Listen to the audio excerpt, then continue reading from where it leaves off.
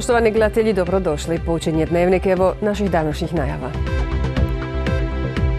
Obilan snijeg izazov je za sve unikomove snage na terenu, prioritet su 180 km najfrekventnijih osječkih prometnica. Između Osječko-Baranjske županije i HBOR-a potpisani ugovori o poslovnoj suradnji. Za programe kreditiranja razvoja malog i srednjeg poduzetništva spremno 30 milijuna, a 15 milijuna kuna za kreditiranje poduzetnika početnika. U Lugu održana sjednica Savjeta za razvoj kontinentalnog turizma. Za taj oblik turizma tek dolazi najbolje vrijeme. Osječko-Baranjska županija sprema se uzeti što veći zalogaj. Velike količine snijega koje su od sinoć pale i u Osijeku stvorile su probleme za građane. Kako za pješake, tako i za vozače, ali i djelatnike Unikomove radne jedinice prometnice koji su od prije podmenih sati na terenu sa svim raspoloživim snagama i radnim strojevima. Prioritet u čišćenju ima 180 km najfrekventnijih ulica u gradu, a jednom kada snijeg stane i prometnice budu u potpunosti očišćene, Unikom kreće iz čišćenjem ulica takozvane četvrte kategorije brzinsko čišćenje ralice od soli kako bi i drugu smjenu Unikomovoj radnoj jedinici prometnice dočekalo vozilo spremno za okršaj s ogromnim količinama napadalog snijega. Angažirali smo od sinoć evo do danas, se borimo s tim snijegom, s tim da smo prvo izvršili posipanje cesta sa soli, a u 10 sati ujutro smo krenuli sa raličenjem i uklanjanjem snijega sa cesta i ponovo posipanje sa sole. Na terenu je angažirano 12 kamiona sa ralicama i posipačima. Maksimalni kapaciteti kojima Unikom raspolaže. Po svim prioritetima znači na 180 km cesta koji se održavaju. Treba napomenuti da u gradu ima 450 km cesta, od toga se održava u zimskim uvjetima samo 180 km. Tako da naši sugrađani znaju da nisu sve ceste uvrštene u održanje u zimskim uvjetima. No dobili smo potvrdu kako je na izvanrednom sastanku u Osječkoj gradskoj upravi odlučeno da će Unikom jednom kada očisti sav snijeg s najfrekventnijih ulica ući i u one sporedne. Soli imamo dovoljno, na zalihama je gotovo uvijek negdje blizu 500 tona i stalno je u dolasku. Kako potrošimo neku količinu, ona je stalno u dolasku i djelatnicima Unikoma je u cilju da snijeg što prije uklone s osječkih ulica, a u tome im mogu pomoći i sami vozači. Ako ih možemo zamoliti da nas puste da prođemo, da nam se ne guraju između ralica, moraju nas razumjeti da, da, da taj snijeg ne možemo mi otopiti, ne može nestati, znači moramo ga negdje maknuti, da li lijevo, desno, negdje on mora se smjestiti. Dok ne dođu neki vedriji i topliji dani jer kada maksimalni ljudski kapaciteti nisu dovoljni, posao do kraja može odraditi samo priroda.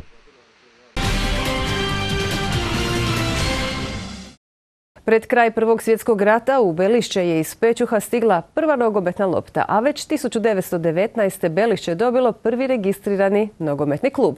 Stoti rođendan NK Belišće obilježava se na doista poseban način, početkom izgradnje prve pravi tribine i popratnih prostorija, zašto će biti utrošeno nešto manje od 7 milijuna kuna. A projekt će zajednički financirati grad Belišće, Županija Osječko-Baranjska i Hrvatski nogometni savez. Vremenska kapsula kao vječna uspomena na današnji dan, a potom i prva lopata u sklopu izgradnje prve prave tribine igrališta nogometnog kluba Belišće nešto e, više od 6,9 milijuna kuna. E, mislim i sa opremanjem. E, evo, današnjim danom počinju radovi, a nadamo se da i očekujemo da budu gotovi do jeseni ove godine. Evo sa željom da možda već i prvo kolo u idućoj natjecateljskoj sezoni NK Beliše bude domaćin ovdje. I to u godini kada Belišćanski treća ligaš slavi okrugli stotinu godina postojanja. Od prve nogometne lopte koja je u Belišće krajem Prvog svjetskog rata stigla iz Pečuha, pa sve do danas, Enka Belišće je, bez obzira na nekada bolje, a nekada lošije rezultate, bio jedan od belišćanskih simbola. Domaćem klubu želim da kroz ove poboljšanje uvjeta ostvare i svoje programirane sportske, odnosno nogometne rezultate, pa ćemo i pri kraju ili u drugom dijelu godine, kad ćemo i službeno obilježavati 100 godina, svi zajedno izraziti jedno novo zadovoljstvo sa jednim novim dosegom i kluba i županije i u cjelini hrvatskog nogometa.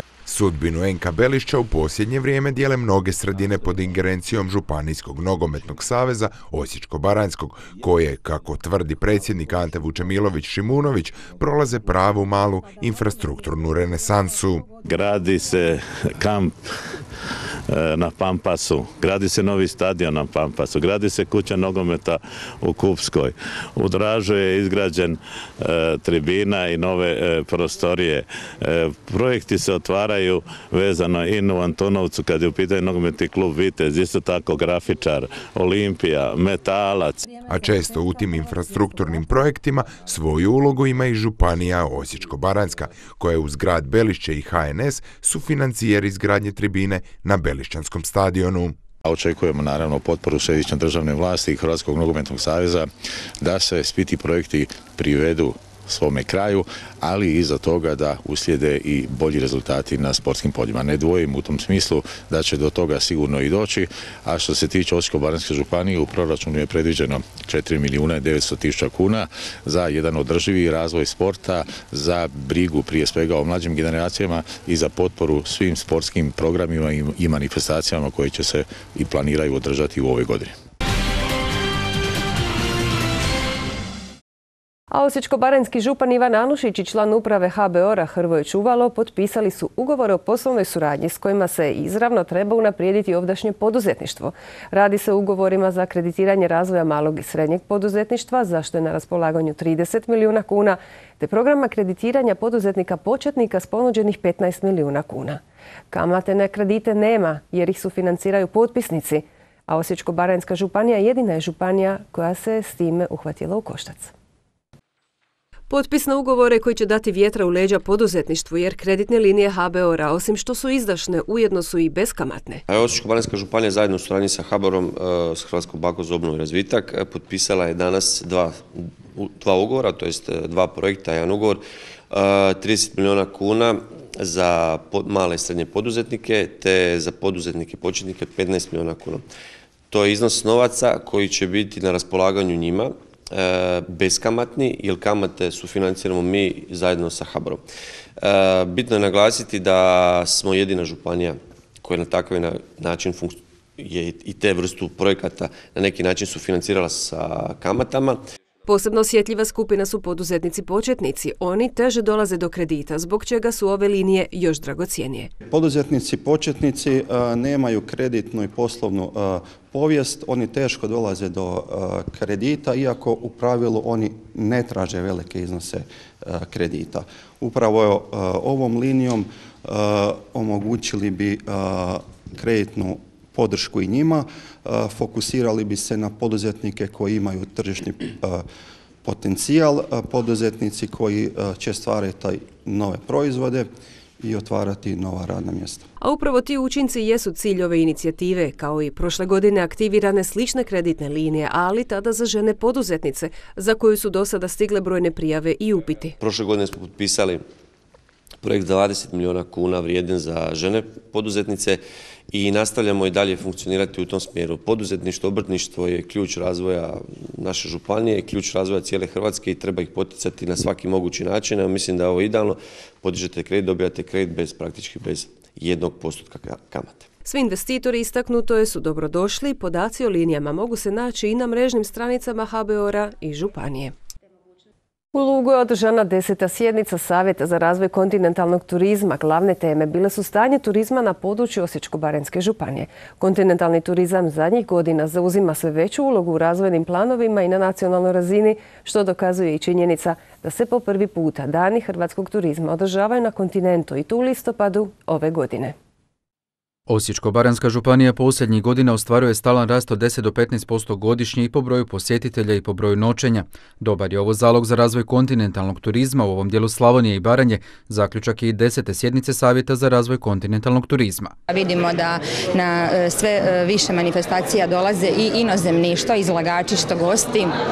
I oni da kako tada onda i ostaju i noće. E, ono što mislim na čemu trebamo poraditi to je svakako razvoj riječnog kruzinga, tako da i ti ljudi onda mogu ovdje i ostaviti svoja, svoja sredstva, a jednako tako i noćiti. Dobre statističke brojke dokazuju hotelu Lug, u kojemu je ovog puta i održana sjednica Savjeta za razvoj kontinentalnog turizma. Najviše gostiju nam dolazi trenutno iz Hrvatske, znači to je Zagreb, to je Istra, Dalmacija i ti gosti su stvarno zadovoljni sa, našom ponudom, znači ovu hranu koju mi nudimo, domaću, ponuda vina, a i naša gostoljubivost koja je nadaleko prepoznata, tako da to je jednostavno spoj, svega, tako da, ljudi znaju zašto dolaze u Baranju. Ovom prigodom prezentirana je ponuda kao i programi hotela Luk koji je otvoren prije četiri godine, te u 13 smještenih jedinica imaju 30 ležajeva, a tu su još i konferencijska sala, restoran i vinski podrum, te teniski tereni, dječje igralište, a u ponudi imaju i konje za rekreativno jahanje.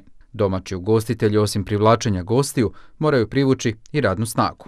Trenutno imamo sedam zaposlenih, uvijek je tendencija da bude više, ali evo, borimo se svi sa uh, radnom snagom, odlaze na more, odlaze, otišli su van, ali evo, pokušat ćemo izdržati da, naravno da ne bude ovaj, uh, usluga, da ostane na nekom nivou koja će zadovoljiti goste koji dolaze u Kontinentalni turizam posljednjih godina zauzima sve veću ulogu u razvojnim planovima i na nacionalnoj razini. Nikada u, povijesti evo dana e, hrvatskog turizma nisu bili na kontinentu, po prvi puta dolaze ove godine, prva nedjelja u listopadu mjesecu i Baranja je zasigurno destinacija e, koja se mora predstaviti, odnosno koju mi moramo predstaviti, sastavili su dio Osječko-baranjske e, županije.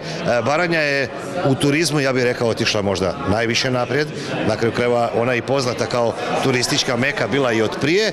Kako bi Osječko-baranjska županija zauzela mjesto koje joj pripada na turističkoj karti Europe pa i svijeta, treba se sustavno prilagođavati kretanjima na globalnoj turističkoj sceni. Na toj prepoznatljivosti i moramo raditi najviše.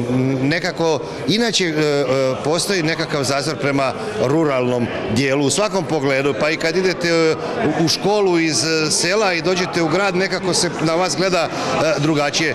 Naravno da će te barijere uvijek postojati, ali je turizam nešto što nema granice, nešto što ne bi trebalo imati barijere i siguran sam da u našoj postavci prema prema, prije svega naravno prema Ministarstvu turizma, prema e, Hrvatskoj turističkoj zajednici. E, moramo dokazati da je Baranja i Slavonija e, top destinacija kontinentalnog turizma. Polako se to već sada prepoznaje. Današnji turisti sve više žele upoznati autohtoni način života, odnosno identitet. Znači i to je ono zbog čega ljudi ovdje dolaze. Kasnije kada se vraćaju, vraćaju se radi našeg gostoprinstva i upravo radi toga što mi zaista možemo pokazati jedan drugačiji način života i oni se s tim mogu saživjeti. Ljudi su oduševljeni i uglavnom se, evo kad ste pričali da su Osijek i Baranja proglašeni najboljim destinacijama, proglašeni su i jednim od najgostoljubivijih destinacija, odnosno lokalno stanovništvo je tu odradilo svoje. Gosti se tako u Osječko-Baranjsku županiju vraćaju i radi identiteta kraja i ljudi, autohtonosti, eno i gastro ponude te bogatog kulturnog nasljeđa. A kako bi stručnjaci sutrašnjice što spremniji izašli na tržište rada? Na Osječkom su ekonomskom fakultetu još prije deseta godina uveli interesantan model rada sa studentima. U okviru kolegija marketing strategije pred studente se stavljaju stvarni marketinški izazovi pojedinih tvrtki iz grada. Do sada su tako obrađivali poslovne izazove vodećih osječkih tvrtki, a ovoga puta tražili i ponudili ideje za još bolje etabliranje jedne pivnice. I prije nego li su diplomirali i dobili zaposlenje, ovi su mladi ljudi uvjetno rečeno već zaposleni i to na realističnim problemima u okviru stjecanja prakse. Naime, u okviru obrazovnog procesa studenti ekonomije u određenoj se fazi obrazovanja stavljaju pred izazov pronalaska poslovnih rješenja za stvarne tvrtke. Na smjeru marketing e, dosta e, pozornosti posvećujemo e, praksi, jel? dakle da studenti uče na stvarnim primjerima, ne radimo na primjerima iz knjige više. Najnoviji primjer takve prakse je bila suradnja s pivnicom Merlon, za koju su studenti rješavali određene marketinške izazove. Studenti su radili istraživanje tržišta primjenom um, mystery shoppinga, primjenom um, osobnog ispitivanja i na temelju toga su uh, napravili uh, prijedlog marketinških strategija. A najbolja tri prijedloga su i nagrađena, te su danas predstavljeni naručitelju iz pivnice Merlon. Iako taj poduzetnik ima svo potrebno iskustvo, ovaj vid suradnje s fakultetom i njemu je interesantan za usporedbu, ali i implementaciju zaključaka u dosadašnji rad. Nakon samih pohvala od strane drugih tvrtki suradnjom sa ekonomskim fakultetom ovaj, odlučio sam se kontaktirati profesoricu Ham te potražiti u stvari solucije kako unaprijediti buduće, buduće poslovanje i popraviti, popraviti stvari koje trenutno ne funkcioniraju najbolje. Za te okolnosti studenti su ponudili najbolja rješenja, izložena u detaljnoj prezentaciji. Zajedno smo se odlučili za neka rješenja koje smo ponudili po pitanju marketinga, po pitanju samog okruženja u poslovanju, njihovih radnika. Dekan fakulteta zadovoljan je primjerom kako se najbolji kadrovi stvaraju tako da ih se izloži stvarnim problemima. Sretni smo da imamo studente koji to mogu, koji to žele. Sretni smo da imamo nastavnike koji to uspješno mentoriraju, a posebno smo sretni što odjek dakle, druge strane gospodarstva je vrlo pozitivan i što uvijek uspijevamo dakle, naći poduzetnike koji, koji žele s nama raditi na takvim projektima. Upravo i zbog ovakvog praktičnog rada diplomanti s ekonomskog fakulteta kao nova generacija stručnjaka posao pronađu u kratkome roku, dok se broj nezaposlenih ekonomista na Zavodu za zapošljavanje zapravo odnosi samo na starije generacije ekonomista. Pir je jedna od najstarijih žitarica koja je zamalo nestala, onda je stvar spasilo istraživanje starih i zaboravljenih biljnih sorti i kultura. Dokazano je kako je pir otporan na sve vrste bolesti, ne treba nikakvu kemijsku zaštitu, te se koristi kao lijek protiv anemije i migrene, za crevna i želučana oboljenja, za rješavanje kožnih i alergijskih osipa, za reumatska oboljenja, te za povišeni kolesterol.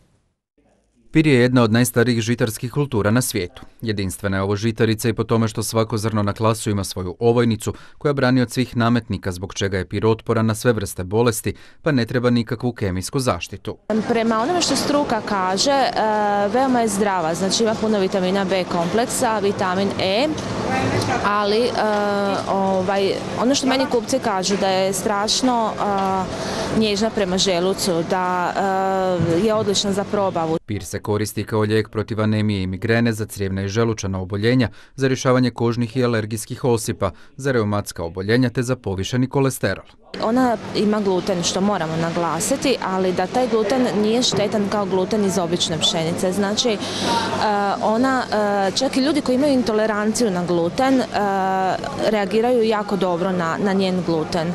Tako da, eto, ona je sad postala hit među, vrlo lako se obrađuje, ljudi je kupuju, kod kuće rade kruh, palačinke i svašta nešto, čak i tjesteninu, pa sam eto tako i ja uvela nešto novo. Zbog iznimno dobrih svojstava i nutritivnih vrijednosti Mirela je pir uvrstila u dio redovne ponude svojih tjestenina koje su i dalje zanimljive jer sustavno uvodi nove okuse. Da, danas sam pripremila znači, tu pirovu tjesteninu i znači e, moje okuse, znači okus špinata i cikle, ali sa pirovim brašnom. Znači opet nešto novo, neki drugi okusi i tako e, i planiram i sve ostale svoje okuse uvesti u pir. Osluškivati potrebe tržišta jedno je od osnovnih pravila uspjeha u poduzetničkom svijetu, a ovu formulu na vlastitom primjeru i Mirela dokazuje. Kupci su i glavni krivci što je pir e, kod mene jer su me puno puta pitali jel ima nešto od pira, jel ima nešto od pira pa su me zaintrigirali svojim e, pitanjima i tako sam to i pokrenula. Veoma su zadovoljni, oduševljeni su sa mlincima od pira, jer sad neki koji imaju i šećer i e, problema sa dijabetesom e, mogu jesti mlince, što je jako važno kod nas u Slavoniji, tako da eto, jako dobro reagiraju. Dobre su reakcije bile i kupaca na zelenom četvrtku na Osječkoj glavnoj tržnici. Ukusne vafle od pirovog brašna svima su izmamile osmih na lice, a uz to je poslužen i mate čaj kako bi se svi ugrijali na zimskim minusima.